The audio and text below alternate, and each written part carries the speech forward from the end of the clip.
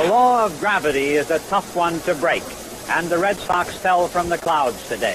It was a wonderful dream, but at the last an impossible one. The Cardinals are champions of the world. Bob Gibson polished the pearl of his pitching performance with a towering home run.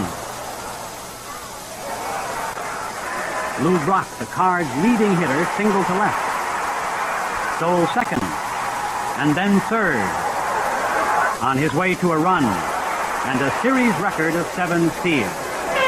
The cheers of the ever-hopeful Sox fans died to a mournful murmur in the sixth as Julian Javier stamped out the last sparks of hope with a three-run homer.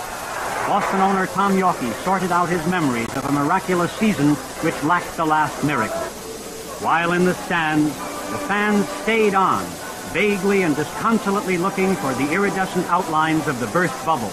There had been so many comebacks this year that everyone found it hard to believe that the hourglass was empty and there could be no more Red Sox rallies till next April. This is Heywood Hale Broun in Boston.